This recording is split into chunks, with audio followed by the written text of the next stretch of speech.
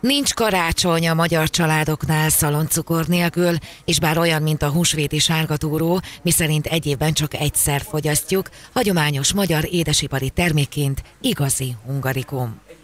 Az édesség neve a német Szaloncukker szóból ered, ezért sem meglepő, hogy Jókai Mor még Szaloncukkerlinek nevezte. A fogyasztói társadalom igényeit kielégítendő a 21. században már a mákostól kezdve a gumicukroson át egészen az alkoholosig számos íz közül választhatunk, miközben megmaradtak a commerce alapdarabok is, mint a zselés, a kókuszos vagy a karamellás. Hogy milyen szaloncukorra kisvárdai a kedvence, annak járt utána a friss média. A gyümölcssziget elnevezésű Kisvárdán igen népszerű zöldség-gyümölcskereskedésben jártunk, ahol a helyi szaloncukorfogyasztási trendekről, tapasztalatokról és kínálatról a tulajdonos Kovicsné Sipos Krisztina állt rendelkezésünkre. Minden évnek megvannak a magas lágerei, de még mindig előnyben részesítik a tradicionális ízeket. Számít-e az ára a szaloncukornak? Ugye manapság nagyon sok helyen arról szólnak a hírek, hogy nagyon fontos az, hogy a minőségi csokoládét, ezáltal a minőségi szaloncukrot vásároljuk. Foglalkoznak-e emiatt az árral az emberek, vagy ez is változó?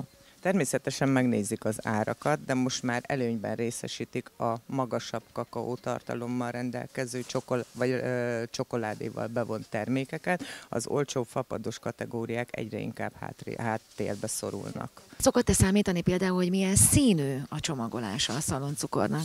Természetesen, bár már ma mai világban nem, a, a, nem az a trend, hogy a fenyőfára akasztjuk, hanem inkább a fenyőfa mellé vagy az asztalra a szaloncukrot, de nagyon sokan még mindig megnézik a színeket, és a, a aktuális disz színhez választanak szaloncukor papírt.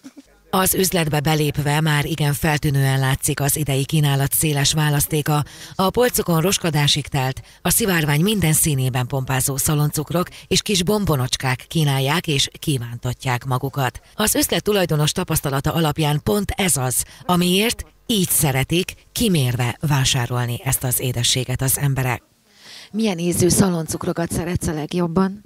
Hát a legjobb ízű szaloncukrok szerintem azok most a Hát a vadászok természetesen, meg a zselés fajtákból, mert most itt ugye a második ízű zselés fajta, úgymond. Nálatok mi a szokás? Felakasztjátok a fenyőfára, vagy inkább egy kosárban van a fenyőfa alatt? Hát inkább egy kosárba a fenyőfa alatt, illetve az ünnepi asztalon szokott lenni.